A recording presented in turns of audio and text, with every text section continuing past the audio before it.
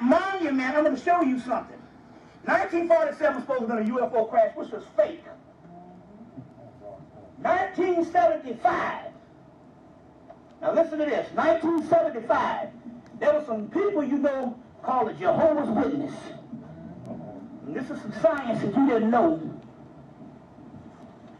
The Jehovah's Witness used to be a big, huge organization come where it's not just a few black women out there passing out pamphlets around subway stations.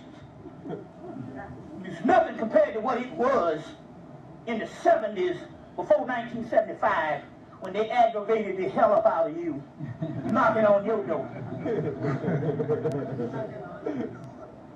the Jehovah's Witness had a prophecy that the world was going to end in 1975. That's right. That's right. That didn't happen and it broke the structure. They was never able to recuperate. They had a mass movement that was big as the Southern Baptist Convention. But once they once the prophecy didn't come true, people whittled themselves away and it's now this side organization compared to the monstrosity it was before 1975. Part of the prophecy was true, they just didn't know how to read it because most religious people are on the low level. They read things that's the apparent. And it's never the apparent. It is always something beyond the apparent. So when it don't line up down here physically, it don't mean it didn't line up. It just wasn't lining up physical because this is an illusion.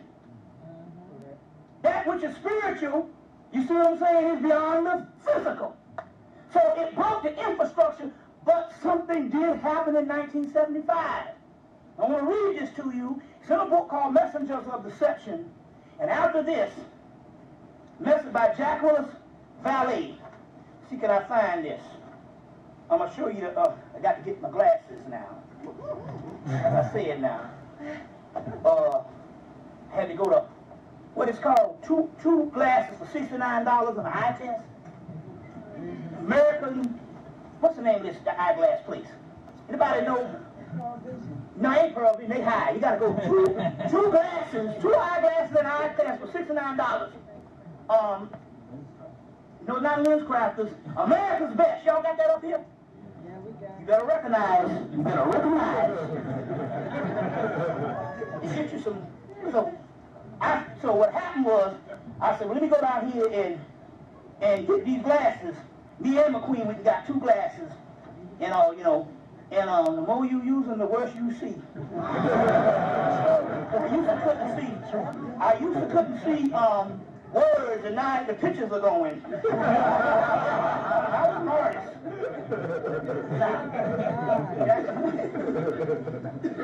He's that way sometimes. Now, I want, I want to read this to you. I want to read this to you right now, and I'm going to read it and show you what's going down. Uh, y'all all right? Okay then. Let me don't waste your time. Okay.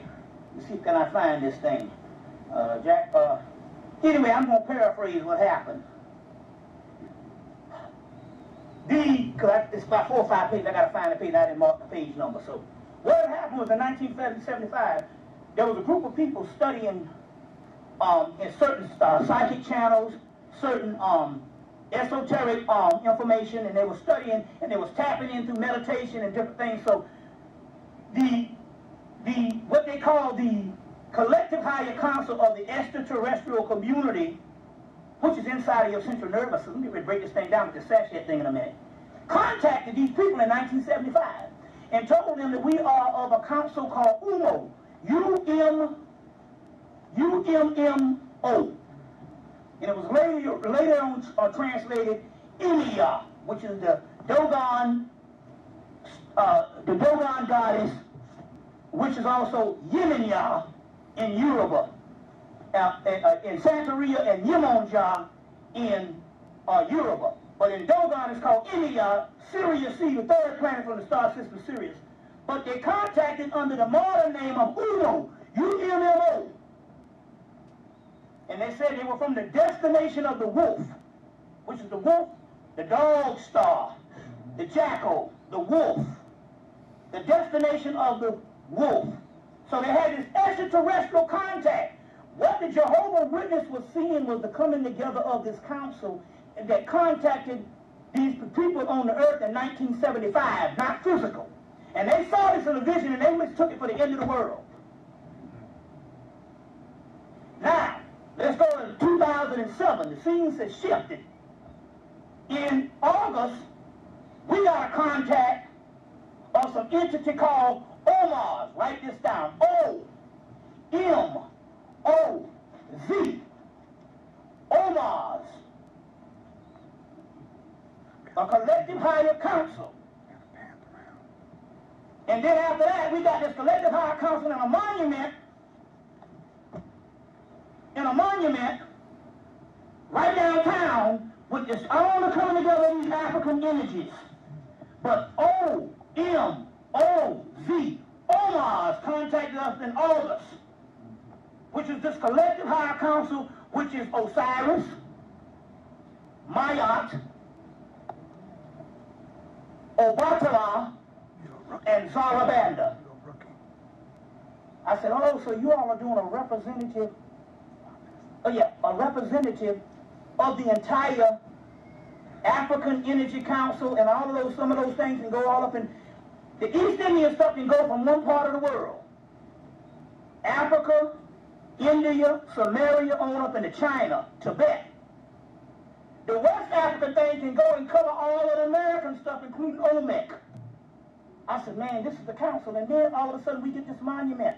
You got to write that shit down. OMOZ. This is real powerful stuff. This is some powerful stuff that's happening.